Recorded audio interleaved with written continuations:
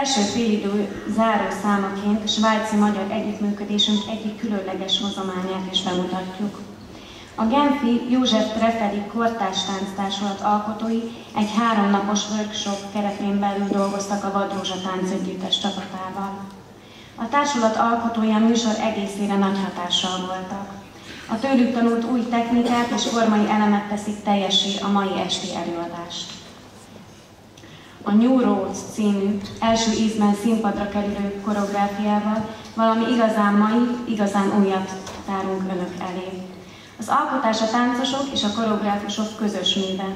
Ez a célja a táncosok kreativitásának ösztönzésére és új formák keresésére volt. Koreográfus József Trefelin és Cserepes Gyula. Zene Budapest New Folk Revolution. Művészeti vezető Portobági Ivet és Hundák Kristó. The last piece of the first half is one of the tangible products of our Swiss-Hungarian cooperation.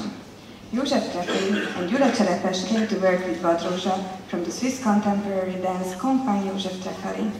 Both choreographers often use Hungarian folk dance elements in their contemporary choreographic work.